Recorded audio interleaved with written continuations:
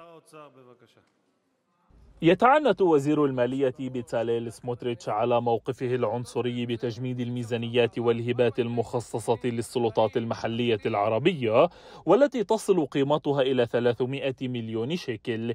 موقف لا يوجد أي مبرر له سوى عنصرية سموتريتش وحقده الأعمى تجاه العرب وهذا ما دفع بقادة الاحتجاجات بالبلاد إلى تنظيم مظاهرة ضد وزير المالية ومن بينها مظاهرة عند المدخل الجنوبي لمدينة حيفا شارك بها المئات من المحتجين וכן, הגיע הזמן שיהיה לכם שיטור נורמלי, שיפסיקו לרצוח אצלכם בכפרים על ימין ועל שמאל, שיהיה לכם תשתיות נורמלית, כולל בתי ספר, שיהיה לכם תקציבים.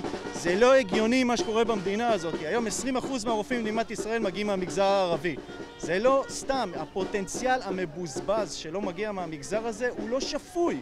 המדינה הזאת פשוט מחליטה לוותר על הון אנושי שיכול לתת פה ולהביא את המדינה למקומות אחרים לגמרי. وكان من بين المتظاهرين من هم على قناعة تامة بأن سموتريتش ليس إلا ولادة طبيعية لمصنع حقد وكراهية وعنصرية يدعى الاحتلال الإسرائيلي الذي كرست حكومات إسرائيل المتعاقبة المليارات لإبقائه وتوفير الحماية والدعم لعصابات المستوطنين كسموتريتش وأشكاله אחד הדברים המשמעותיים זה העמקת הכיבוש.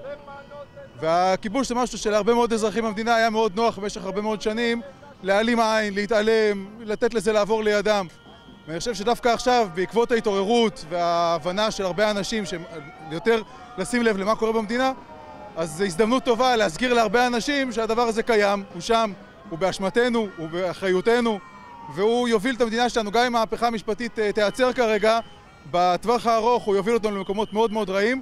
הוא כבר היום במקום רע, אבל הוא רק יוביל אותנו למקומות יותר רעים. تصعيد من قبل حكومة نتنياهو ووزرائها بالتشريعات والقرارات التي تستهدف العرب والجهاز القضائي وكل جهة لا تروق لها وتقف أمام مخططاتها. وبالمقابل نشهد تصعيدا من قبل الحراك الاحتجاجي ودعوات للبدء بخطوات العصيان المدني وأصوات تعلو في الشارع العربي تطالب باستقالة جماعية لرؤساء السلطات المحلية العربية كأنسب برد على هذه الحكومة.